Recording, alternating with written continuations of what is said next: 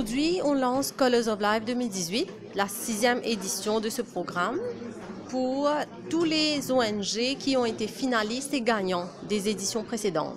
C'est ça qu'on a fait aujourd'hui.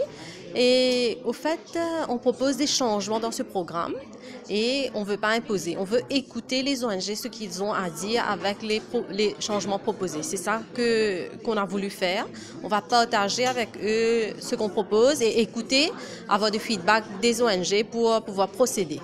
Le but de Colors of Life, c'est vraiment aider les ONG à s'améliorer, à se professionnaliser à travers euh, les formations qu'on donne, le capacity building qu'on a mis en place pour tous ces ONG.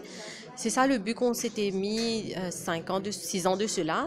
Et là, c'est vraiment euh, de voir les ONG qu'on a accompagnés, où est-ce qu'ils sont sur ce journey de s'améliorer. L'accompagnement, on le met en place dès que l'ONG vient avec nous sur Colors of Life.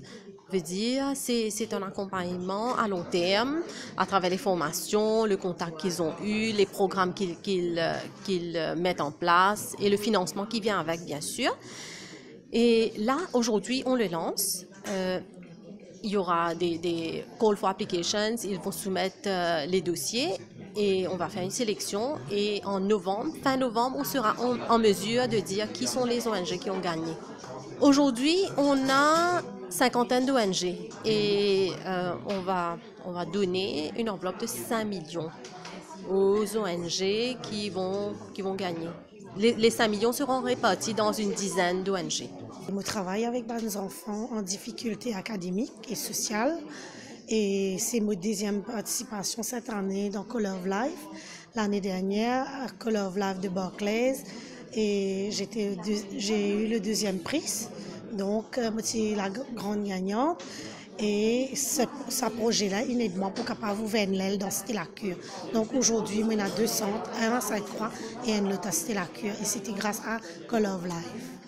Nous étions the overall euh, winner de 2015 de la Barclays euh, Colors of Life et avec la somme obtenue, nous avons pu justement mettre en place notre projet de centre récréationnel pour adultes et euh, aussi créer d'autres petits projets, faire des aménagements, etc. Et, et, aussi, nous étions aussi le gagnant dans notre catégorie, c'était Social Empowerment. Et là, vraiment, je remercie la Barclays parce que ça nous aide à faire un bon en avant, de pouvoir mettre nos projets en place.